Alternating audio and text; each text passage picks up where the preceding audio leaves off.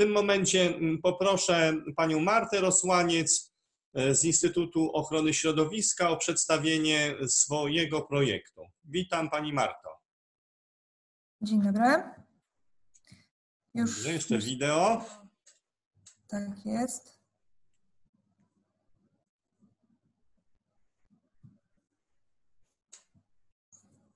O, świetnie. To ja się rozłączam i życzę Pani powodzenia. Dziękuję bardzo. Mam nadzieję, że to zaraz wszystko ruszy. Witam serdecznie. E, nie wiem, ja widzę prezentację. Czy Państwo widzą prezentację? Tak, widać prezentację. Idealnie. E, chciałabym powiedzieć w kilku słowach, jak nam udało się e, osiągnąć sukces, którym niewątpliwie jest e, uzyskanie dofinansowania równocześnie ze środków live'owych z Brukseli i, i z Warszawy. Prowadzimy projekt, który się nazywa LikeClimateCake.pl.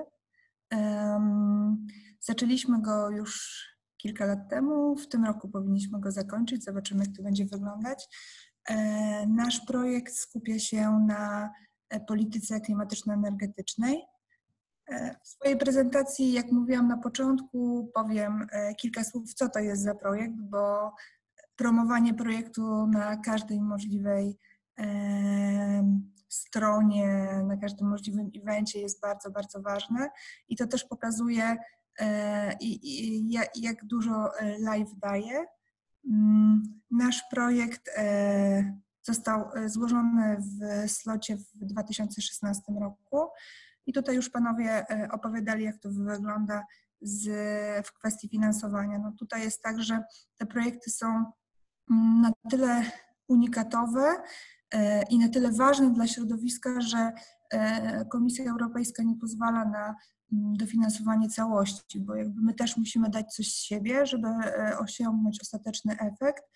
E, I tak jak widać, tutaj te, te procenty nie, nie są pełne, tutaj jest też wkład własny e, instytucji, która ten proces prowadzi, ale myślę, że ostatecznie wartość dodaną, która, która daje live, będzie o wiele wyższy. Zaczęliśmy w 2017 roku, powinniśmy skończyć w tym roku.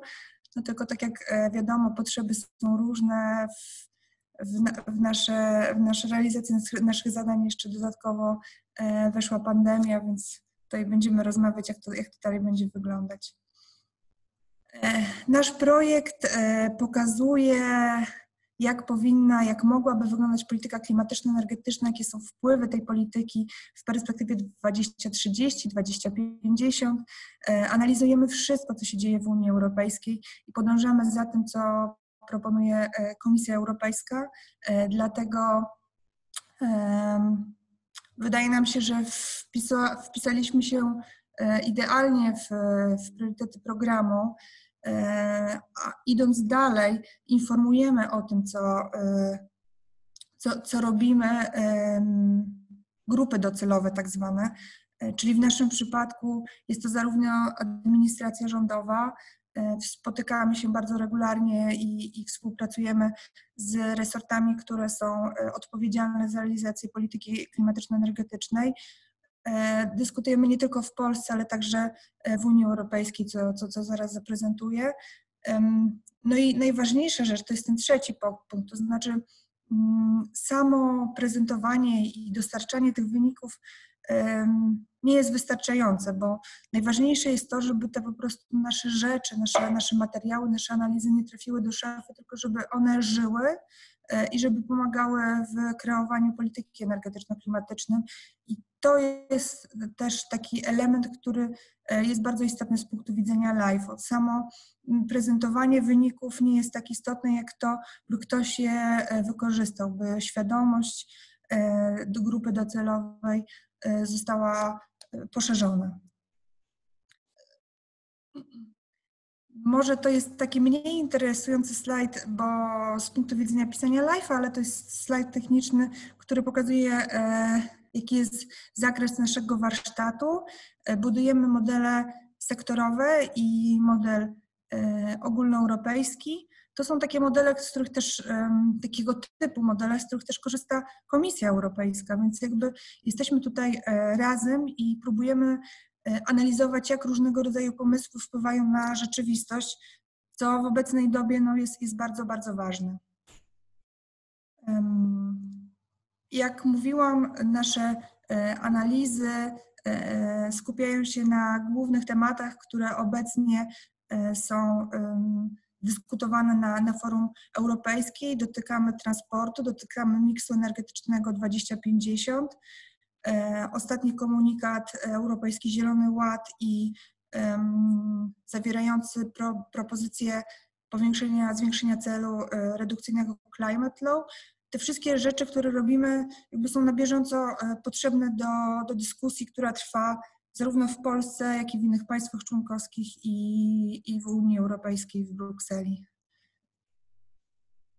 Jak widać, nasze, e, nasz projekt udało się e, w różnych miejscach już zaprezentować i to, co robimy, pokazywaliśmy w zarówno tutaj w Warszawie na, na konferencji, którą organizowaliśmy w zeszłym roku. Mamy te regularne posiedzenia komitetu sterującego, gdzie są przedstawiciele rządu, czyli jakby efekty naszej pracy są na bieżąco przekazywane i dyskutujemy, jak powinny wyglądać, tak żeby były jak najbardziej przydatne. E, byliśmy też e, w Joint Research Center, czyli w takim właśnie ciele Komisji Europejskiej, który e, ma na celu mm, analizowanie polityki energetyczno-klimatycznej. E, udało też nam się zaprezentować e, podczas COP-u w Madrycie. To były krótkie informacje na temat naszego projektu. Jeżeli ktoś z Państwa będzie zainteresowany naszymi wynikami, to na samym końcu w mojej stopce jest adres naszej strony Climate Cake. Bardzo serdecznie zapraszamy do jej odwiedzenia. Mm, i, i, i śledzenia tego, co, co jeszcze w najbliższym czasie będziemy robić. A jeżeli chodzi o samo przygotowanie wniosku, tutaj już e, Państwo e, widzieli e, i, i, i Pan Zbyszek Karaczun opowiadał, jak wygląda przygotowywanie wniosku i jak długo to trwa. To znaczy, to nie jest prosty proces i to nie jest tak, że nawet jeżeli uda nam się ten wniosek złożyć i ostatecznie mamy pozytywną ocenę, to nie są natychmiastowe pieniądze, więc ten projekt trzeba naprawdę bardzo dobrze przemyśleć i trzeba mm, robić to tak, e, by projekt nie stracił na, na swojej aktualności i na wartości i żebyśmy nadal za te 2, 3 czy 4, 5 lat byli zainteresowani tym, o czym myśleliśmy e, parę lat temu. E, parę lat wcześniej. Ja tutaj podsumowałam najważniejsze wydarzenia, one też już były we wcześniejszych prezentacjach, no ale de facto jakby e, myślę, że od roku do, do, do półtora trwa sam efekt, e, sam proces zatwierdzania wniosku. Wynotowaliśmy sobie tutaj z kolegami najważniejsze mm, kwestie, może nie problematyczne, ale takie, które dla nas były zaskoczeniem, bo może od tego powinnam zacząć, jak my mm, w ramach tutaj instytutów w Kobize w Zespole Strategii i Analiz pisaliśmy pierwszy raz ten wniosek, to, no to w ogóle pisaliśmy go pierwszy raz i dla nas wszystkie elementy i dokumenty programowe i wytyczne i, i e-proposal, no wszystko było totalną nowością, zaskoczeniem w wielu, w wielu miejscach i, i byliśmy totalnie zieloni, więc od razu przepraszam, przepraszam z góry wszystkie osoby, które musiały czytać ten nasz pierwotny wniosek, bo, bo wiemy, że, że tam dużo, dużo rzeczy było do dopracowania. Mm, no ale dało, udało się. Na pewno jest dużo łatwiej, jeżeli ktoś już e, składał ten wniosek, wie jakie są, e, jakie są najważniejsze elementy. To jest to też e, coś, o czym mm, Pan Zbyszek mówił. Mm, złóżmy ten wniosek, spróbujmy i wtedy będziemy mieli odpowiedź ze strony komisji, co, co jest fajne, co nie jest fajne i, i wtedy będziemy wiedzieli, gdzie, gdzie się poprawiać. E, my złożyliśmy wniosek w języku angielskim, właśnie między innymi ze względu na to, co też mówił e, pan Darek, no łatwiej jest jednak wszystkim w tym języku operować, przynajmniej w jakimś tam stopniu. Tylko z drugiej strony no to jest duży wkład jednostki w przygotowywanie około 70, 60, 80 stron tekstu, bardzo merytorycznego, gdzie trzeba odpowiedzieć na konkretne pytania. Ja z utęsknieniem bym czekała, żeby też e, jakby ta nasza działka była objęta tym wnioskiem skróconym, bo uważam, że to jest e, idealne rozwiązanie dla wszystkich ze stron. U nas w instytucie też musieliśmy wejść w dostosowanie procedur, bo jakby jako instytut braliśmy udział w różnego rodzaju e, projektach z finansowaniem zewnętrznym, ale live był bodajże naszym pierwszym takim projektem, więc też nie, nie wiedzieliśmy o wszystkich szczegółach.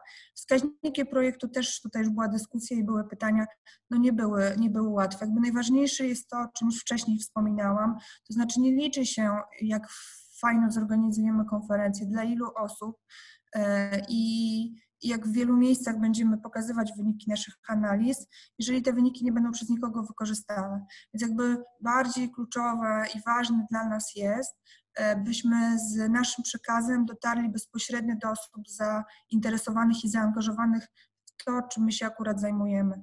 Więc e, to, że nasz komitet sterujący składa się z wszystkich no może nie z wszystkich, ale z pracowników administracji, którzy zajmują się polityką klimatyczną, energetyczną i nie są żywo zainteresowani tym, co my robimy, to jest klucz do, do sukcesu tego projektu. E, Proposal to też jest takie urządzenie, które oczywiście jest e, bardzo fajne, e, tylko tam naprawdę jest dużo rubryk do uzupełnienia i nie można sobie zostawić na ostatni dzień wypełnienia propozala. Można sobie część tych materiałów e, kopiować, poprawiać, ale samo wypełnianie wniosku też chwilę zajmuje, więc no myślę, że to wszyscy powtarzają. Nie róbmy tego na ostatnią chwilę. Mhm. Jeżeli chodzi o kolejne kwestie, e, bądźmy racjonalni, to znaczy no nie da się e, zbawić całego świata i jeżeli wymyślimy sobie, że chcemy osiągnąć, nie wiem, dotrzeć do jak największej liczby osób, może to wcale nie jest dobre rozwiązanie. Jeżeli zrobimy 15 spotkań w roku, a nagle właśnie zdarzy się taki kryzys, możemy mieć bardzo duży problem z realizacją zadań, więc bądźmy tutaj naprawdę racjonalni. E, nie wiem, czy już była mowa e, o sprzęcie komputerowym, bo to u nas był e, dosyć duży mm, element e, kosztowy, ponieważ do budowy modeli potrzebowaliśmy nowego sprzętu. E, teraz wchodzi też kwestia amortyzacji, z tego co wiem, coś się ostatnio zmieniła ustawa, więc to są też takie mm, rzeczy, które były dla nas e, problematyczne, bo się okazało, że sprzęt, o którym pomyśleliśmy właśnie po jakimś czasie już nie był wystarczający, a, a budżet, który zaplanowaliśmy na tą kategorię powoli nam się wyczerpywał. Mm, tutaj mieliśmy też problem e, wewnętrz, z wewnętrznym VAT-em.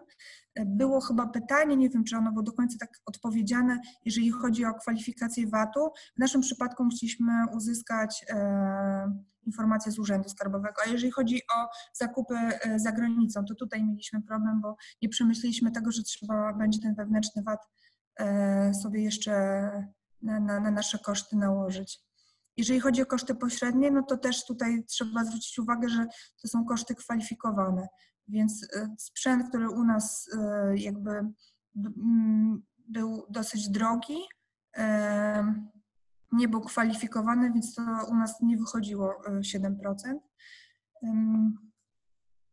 Ciekawe jest to, że mimo tego, że tutaj też już były poruszane kwestie i pytania dotyczące e, wartości dodanej i rozwiązaniem tego jest pozyskanie beneficjenta z zagranicy, wcale to nie jest potrzebne. My jesteśmy tutaj doskonałym przykładem na to, że jeden beneficjent wystarczy, żeby udowodnić, że projekt ma wartość dodaną dla całej Unii Europejskiej, bo to, co robimy i gdzie jesteśmy i z kim rozmawiamy, e, powoduje, że wyniki naszego projektu są ogólnounijne. A na pewno to ułatwia, o czym mówił Pan Darek, administrowanie projektem.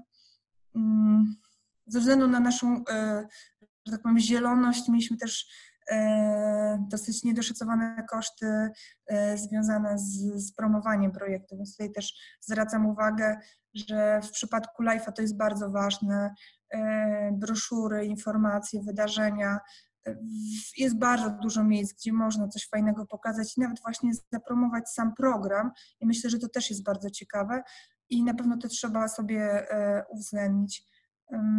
Tak jak już wspominałam, w przypadku naszego instytutu też musieliśmy sobie e, dopracować niektóre e, kwestie obsługi finansowej, bo wiadomo, że każde źródło finansowania ma swoją specyfikę, więc my też się musieliśmy tego nauczyć.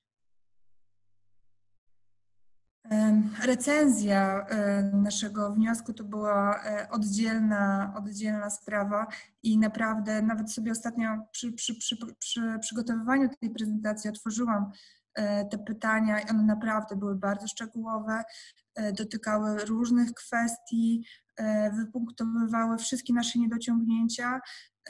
Musieliśmy bardzo się starać, żeby sprostać wyzwaniom, ale dzięki temu w ostateczności ten nasz projekt jest na pewno taki, jakby komisja go chciała widzieć i tak, taki, że jakby my też możemy go realizować, mając świadomość, że nie potkniemy się w, w danym miejscu. E, dla nas największym chyba problemem było to, że w pewnym momencie e, dostaliśmy dodatkowe zadania, które jakby z naszego punktu widzenia były e, trudne do realizacji, no ale jakby przyjęliśmy taką opcję i, i będziemy się starali je realizować. Tutaj chodziło o kwestię mm, wdrożenia naszych wyników na poziomie lokalnym. To też jest bardzo ciekawe.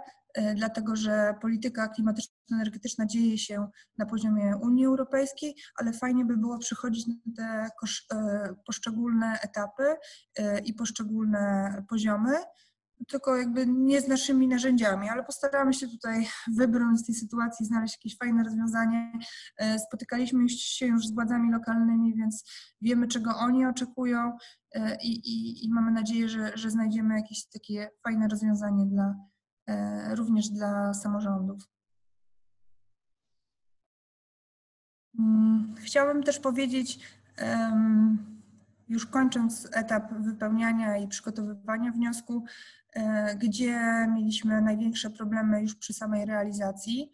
E, w naszym przypadku było to zatrudnienie, mm, budowa modeli ekonomicznych i, i sektorowych no to jest e, rzecz bardzo skomplikowana i dostępność ekspertów, mimo tego, że wcześniej już pracowaliśmy e, z, z różnymi ludźmi w tym zakresie, była niższa niż oczekiwaliśmy.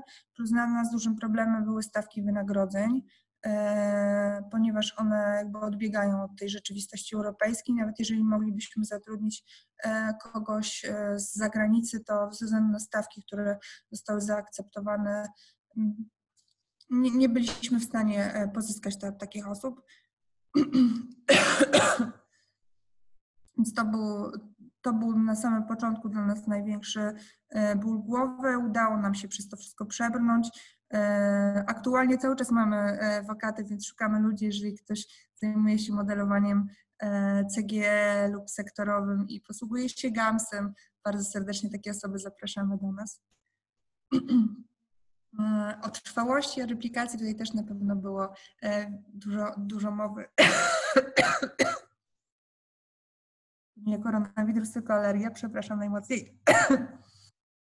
Mm, i, i mówiliśmy o tym, że samo wykonanie e, prezentacji czy zrobienie analizy nie jest wystarczające, bo to nie jest przekazanie tego, co się, e, co się dalej dzieje.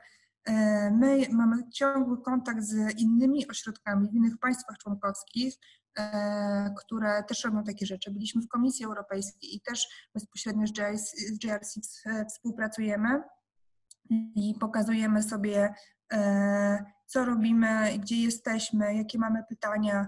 E, jeździmy do e, innych miast i też tam oglądamy, co inne instytuty robią. I dzięki temu mamy nadzieję, że e, ten nasz ostateczny produkt będzie mógł być wykorzystany przez, przez inne jednostki. Mm, staramy się też pozyskać kolejne finansowanie, tak żeby to, co robimy teraz, mogło być wykorzystane w dyskusji, która się dzieje i dotyczy przede wszystkim systemu handlu uprawnieniami do emisji, bo jakby tym się tutaj w Kubize zajmujemy. Nasz wniosek przeszedł ocenę formalną, jednak było, jest, na chwilę obecną był brak środków. Czekamy tutaj na ostateczną decyzję.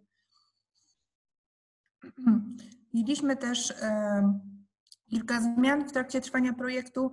One nie były e, bardzo znaczące i jakby nie, nie zaburzały mm, e, systemu i tego, jak pracowaliśmy i harmonogramu prac, ale może to też Państwu się e, może przydać. Planowaliśmy szkolenia dla modelarzy, jednak wyszło na to, że forma warsztatów, czyli spotkania ekspertów będzie dla nas ciekawsza. Tutaj komisja nam zaakceptowała taki, taką formę. Przesunęliśmy też termin zakupu bazy danych. To są takie technikalia, ale może Państwa e, zainspirują w jakichś momentach. To znaczy, mieliśmy zaplanowany zakup bazy danych, e, ale w międzyczasie dostawca tej bazy poinformował, że w niedługim czasie uaktualni ją, więc już poczekaliśmy na tą bardziej aktualną bazę danych. No i teraz z, z ostatnich e, naszych zmian ze względu na, na sytuację, e, debatę publiczną, którą mieliśmy zaplanowaną w Brukseli, przenieśliśmy na, e, na wirtualne e, spotkanie i w przyszłym tygodniu, we wtorek, będziemy gościć pana e, Adama Czwartyńskiego, e, ambasadora również w Brukseli, e, pana Sadosia. Będziemy mieli przedstawicieli Komisji Europejskiej, przedstawicieli innych think tanków i będziemy dyskutować na temat celów redukcyjnych w przyszłej perspektywie. To już ostatni mój slajd i tutaj pozwoliłam sobie na zebranie mm, kilku takich najważniejszych z mojego punktu widzenia punktów.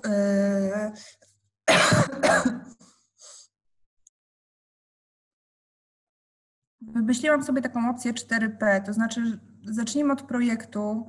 E, u nas też ważnym elementem było poparcie, to znaczy my, e, o tym nie zdążyłam tam wspomnieć, zebraliśmy kilkanaście listów poparcia z różnych instytucji, osób i miejsc i to też pokazywało jakby jak nasz projekt jest ważny dla wielu osób.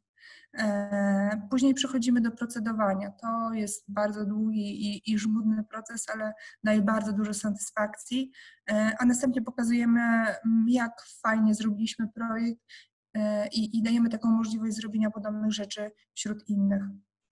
Na ostatnim wydarzeniu live'owym organizowanym przez Erasmus w Brukseli pan Salzi powiedział, Play the Game of Life. To było, bardzo mi się podobało i, i, kontynuował to takim wydźwiękiem, że jak już się raz zagra w tą grę, to zasady są jasne i zrozumiałe i, i potem się mogę zdecydowanie podpisać i myślę, że tutaj e, moi, moi koledzy również. E, bardzo nam się dobrze współpracuje zarówno z Erasmem, z teamem monitorującym, jak i z Enfosiem.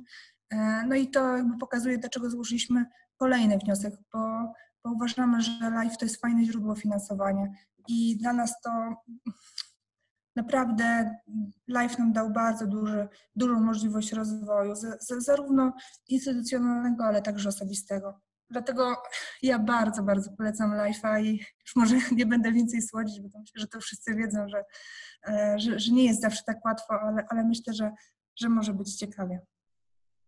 Dziękuję bardzo i zapraszam do zadawania pytań. E, dziękuję bardzo Pani Marto. Bardzo ciekawa prezentacja.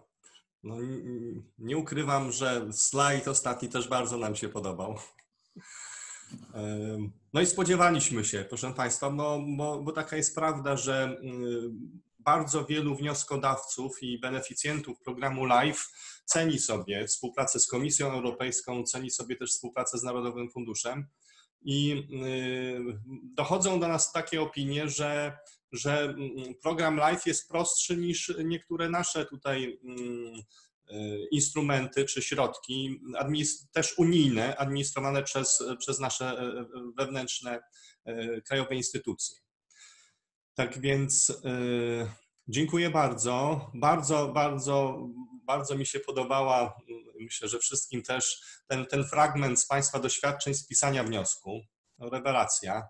Oczywiście, oczywiście podejrzewam, że gdyby było więcej czasu, no to mogła Pani wejść w większe szczegóły.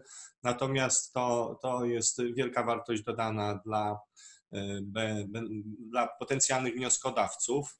No jeszcze tylko skomentuję tą europejską wartość dodaną, tą mantrę, tak? To z roku na rok trochę się zmienia i pomimo tego, że Państwo mieli w pierwszym projekcie od razu, no ile pamiętam, weszliście i dostaliście to finansowanie, no to proszę zauważyć, że w, naborze ostatnim, w którym Państwo też w takim samym e, układzie wystąpili, powiedzmy, to jest kontynuacja w jakimś sensie tego projektu, e, natomiast to już lista rezerwowa, tak więc, e, tak więc no jednak troszeczkę, troszeczkę niżej. Gdybyście Państwo być może mieli jakąś współpracę, no to może już by była międzynarodową, by była e, nie tylko e, powiedzmy lista rezerwowa, tylko od razu byście uzyskali dofinansowanie. E, tym niemniej świetny projekt, świetny pierwszy projekt, świetny następny i mam nadzieję, że, że niedługo Państwo rozpoczną współpracę też z Komisją Europejską w ramach drugiego projektu. To dziękuję Pani Marto w tym momencie. Oczywiście pytania e, będziemy odpowiadać około godziny 14. Ja postaram się e, wcześniej e, skończyć niż te 30 minut, które w tym momencie mam. Tak więc dziękuję w tym momencie.